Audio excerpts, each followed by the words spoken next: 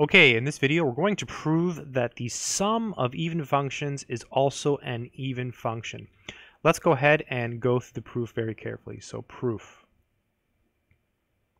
So we'll start the proof by assuming that we have two functions that are even. So suppose that we have two functions, and let's call them uh, f and g. f and g are what's called even functions.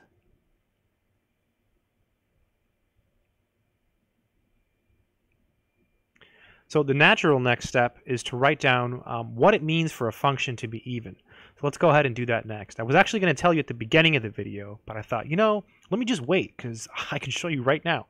So the next natural step, right, this is the hypothesis, is to actually write down what it means. So this means in fact, it's even better to write down this means. It lets the reader know um, what's going on.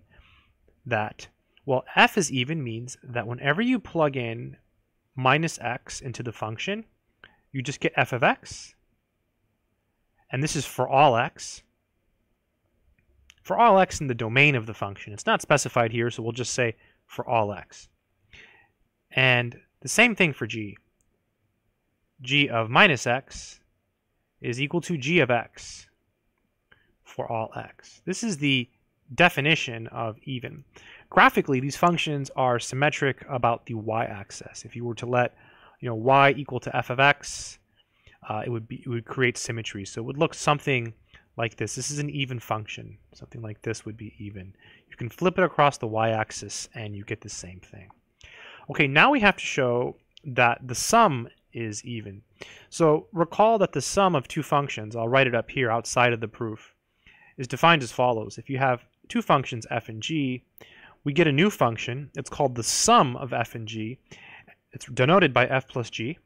And it's defined as follows. It takes a value of x as an input, and as an output, you get the values of f of x plus g of x. This is the definition of the sum of two functions. So now we have to show that this is even. So we have to replace this x with negative x. So then we have f plus g of minus x. And using the definition of the sum of two functions, this is f of negative x plus g of negative x. And here's the beautiful part.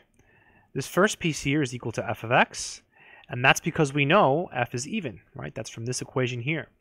And this one is equal to g of x, and that's because g is even. So this is because f and g are even.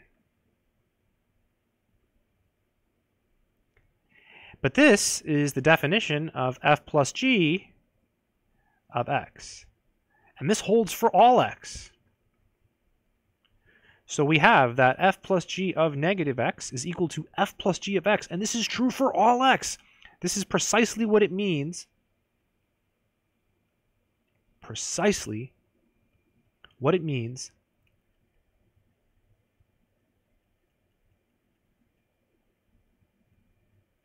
for f plus g to be an even function. So for f plus g to be even. And that, my friends, completes the proof. So we started with two functions, f and g, that were even.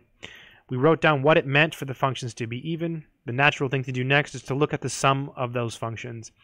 And we use the definition of the sum, and then we use the fact that the functions are even. It's true for all x, therefore f plus g is an even function.